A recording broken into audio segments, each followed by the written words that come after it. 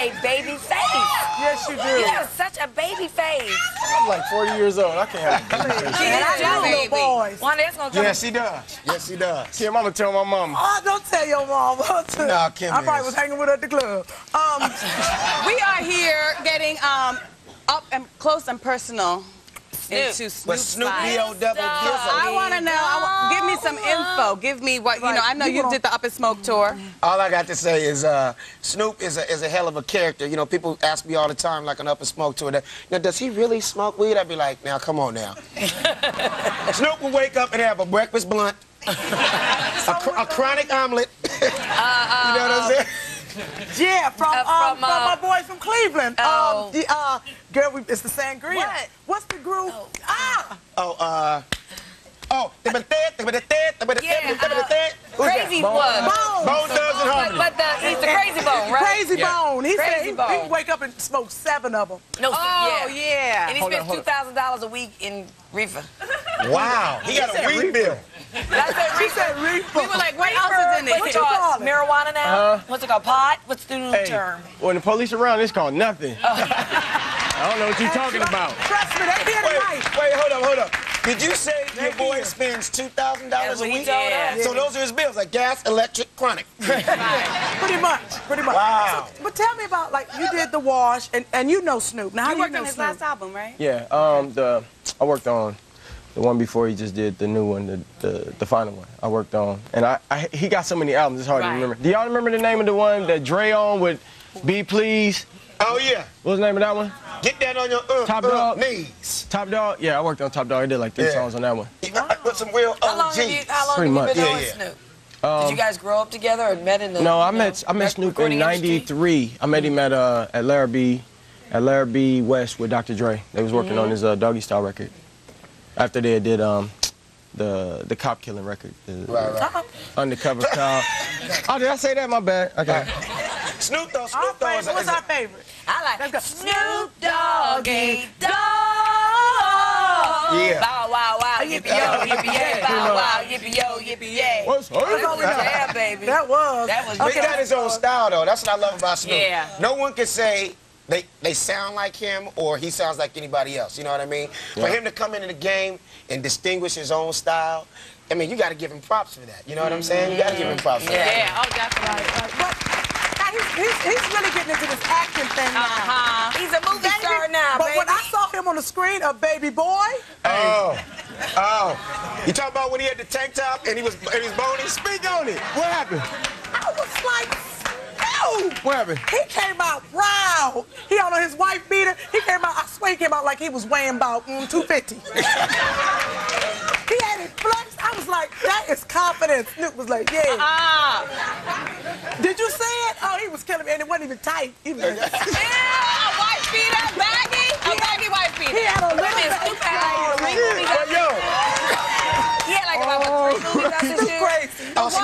Snoop working. You can't be mad at him. He's working. Ain't no mad. You know what I mean? You And think he's about good it. now. He's good. He Oh no, he's good. doing now. You know what I like about him? You know he he really does keep it real. You know what I mean? Like you used to talk about the essence. Like as soon as they say cut, it's mm. like and cut. Okay. Hey dog, hey dog. Tell me when we started back up, no cut. you know what I uh-huh. mean? I'm, I'm serious. Like when we did the wash, they wanted him to use stunt weed, and he would not use stunt weed. That was like, Okay. And he was like, yo, dog, I came prepared for the situation.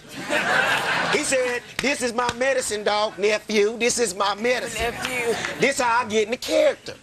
That's how he gets in the character. If he didn't have the weed, he wouldn't remember his lines. So he remembered his He should have line. been in Friday. Oh, but it was great though. If you let him, if he was in his room for like 45 minutes, he'd come out and do a, you know, hear thee, hear thee. Wow. Then they Be like, or like, not to you know. that is the question. Right, right. You know what I'm saying? Whether it is noble in the mind to suffer the slings of arrows of outrageous Right, right, right, right. You know what I'm saying? Wow, boy. You know that a little too well. Okay, know, she right? did that good. She went to did school that with Snoop. didn't? Okay. But he really did. You, you're from Compton. Oh yeah. and he's from Long Beach. Mm-hmm. So I mean, y'all both like independently kind of put your own cities on the map. You know, do it with some other brothers. That's not an easy thing either, right? yeah, not at all. Can I hear it? That was that hard. Own it. Yeah. It is. It's, it's like, first of all, Snoop, the, the good thing about, about Snoop coming out was that there wasn't a lot of people from Long Beach out mm-hmm. rapping. Right, right. You know what I mean? He came out and kind of just put a stamp on. Like he kind of, if he ain't got the key to the city or got a, you know, car named after him called a Coupe de Ville already. It's the from- Snoop from what he DeVille. The did, Snoop DeVille. You know what I'm saying? And it comes with zigzag and 20s. So that's real. Yeah, it's cool. It's tight. And we. For I real? like Yeah, yeah. Snoop's car. He got one of them uh, low riders. It was purple. I think for the Lakers one year. Wasn't that last year? Yeah. He had the purple and gold one. And he got some shoes, purple and gold. They call fizzles. Okay. They call fizzles for shizzle, my nizzle. All right, well, right, y'all. We're going to take us a little break. And um, we'll be right back. So, okay, now I know you got a crew. I know, because when y'all come, y'all come deep. They're hanging all around the sides, the backs, the middle. Oh, Lord. I I see a bunch of my nephews out here. I ain't seen in a minute too. There's a whole bunch of nephews here. And so, I'm part of the family now, too. You you're know part of the family. I've been trying to hang for a while. I've been do trying to it, hang. Yeah, that's You a niece. Yeah, I'm a niece. I'm a niece. niece. Uh-huh. And when you go out in public, since you, you are so like down to earth, how do you do people bother you? Do you sign out autographs? What do you do? How do you A lot of times? I um I, I I do sign autographs, but it's hard because when I'm with my wife and my kids, I like to I like to say that that's family time, and Right. you know that's not I don't get a lot of that. But if I'm hanging out with my crew or whatnot, I will do the autographs because you know what I'm saying. I appreciate the people for wanting the autograph. I mean, a lot of times security, you know, might push them back because they only doing their job. So don't be offended. You know what I'm saying? Just wait for me to get a green light and say it's all official. I, there's some people out there, they want to know, like, you know, how we, we've been through it, you know, we know how to sign autographs, we know how to go through that. There's people want to know, like, have you ever had to just throw a nutty on a fan, you know, just being, like, too much on you, trying to snatch on you? Have you ever had to, like, check a fan in public? Just Yeah. throw a nutty? I had to do it. It was one in uh, Up in smoke. Yeah, I saw yeah, it every it was one, I think it was in Denver, and they was pulling all on my hair and grabbing me, and then they ended up hurting one of my uncles, you know what I'm saying? And it was some big mamas that saved the day. It was a couple of big girls out there that got him out of here. Give it up for the big girls. being a president. The big girls. I remember What that. did they do? They they rushed him in the vehicle. They they like bodyguard him, played offensive line, and got him in the van. The women good. did it. The women did it. How does What? it feel to be a movie star now? You're a movie star. You think I'm a movie star? You know? Well, yeah. Yes, you are. movies in one year, oh my God. I fell in love with you like in Bones, and you were like a scary character, but I was, what did Well, I just say? I like scary character. Your hair be all pretty and Well, just stuff. acting in general. I mean, are you uh, obviously you're enjoying it, you're doing it, but what what you know, what do you think about all that?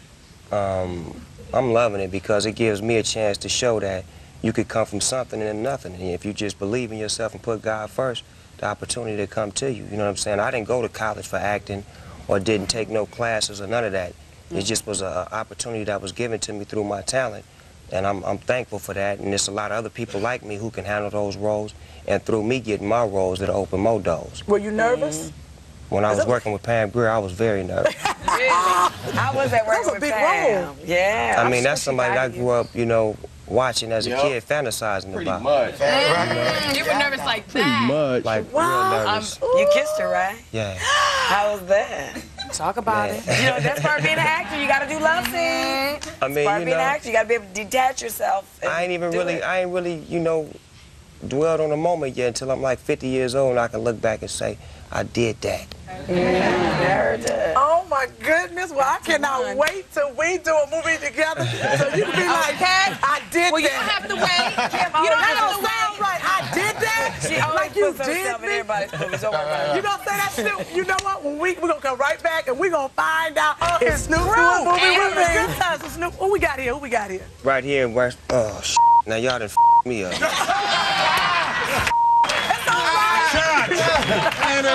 Chad, Chad. Shit. I'm like, Snoop, who we got here? Who we, got here? Uh, first of all, right here, uh, we got my pops right here, the man, the myth, the legend. Without him, I wouldn't be here. Papa Snoop. Okay. And then right here, Church, you got to do it.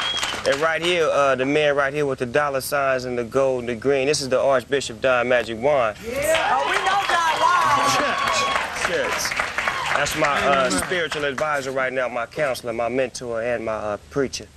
Uh, right here, we got uh, Alex Thomas, comedian and extraordinaire, movie star extraordinaire as well. Yeah, now. Shikes. Shit. Shikes. Shit. My nephew in the movie to watch. Hello. Oh, yeah. And right next to Alex, we got the uh, OG voice right there. That's El, El DeBarge. Sing something for him. Let him, let him know, let him know that shit, dog. Do something real quick. And all this love is waiting for you, my baby. Yeah, it is. My darling, and baby, oh, and baby, oh, When we come, we got to come thick. You know what? I'm just mad because both of y'all's hair is longer than mine, okay? And now y'all- I'm just gonna Wait, wait, wait, wait, wait, wait, right here on the end, that's the extraordinary Yeah. producer, West Coast Don, DJ Quik Wait, right that's there. mad DJ. Sure. And who these beautiful people up here? Right there, like the uh, the beautiful lady right there, that is Latoya Williams right there. She is singing on the Warren G single right now, looking at you, and she is a doghouse artist right there. Yeah.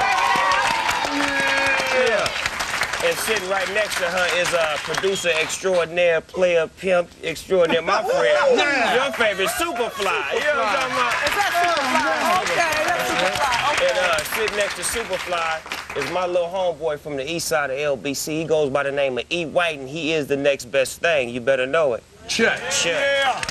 Yeah. How did you get this started? Um, actually, uh, Andy Hilfiger, who was uh, Tommy Hilfiger's brother, I was gonna say help and uh, okay. and Kidada Jones, which is Quincy Jones' daughter. Yeah. Right. They um they presented this idea to me. Wow. You know what I'm saying? Because they seen me generate a lot of money for a lot of clothing companies. You know what I'm saying? Wearing their clothes and videos and this and that. And all I get is a box of clothes. And they get all the revenue. So they brought the idea to me that I should start my own thing because I was big enough to do Good it. idea. And I want to give them a shout out right now for looking out for me in a real There way. you go. Now, do you have a lot to do with the designs? Oh yeah, I got everything to do with the designs. You know what I'm saying? Because it got my name on it, so I can't put something out that don't represent me. That, that'd be false, be fraudulent, be plastic. You know what Now I'm this saying? is this is this is something that you're wearing, but this is this one of the, the designs or this a personal? Oh, this is something out of the uh, Dogfather uh, apparel as well. It's the uh, famous what? player line. You know what I'm saying? You'll be able to get this as well.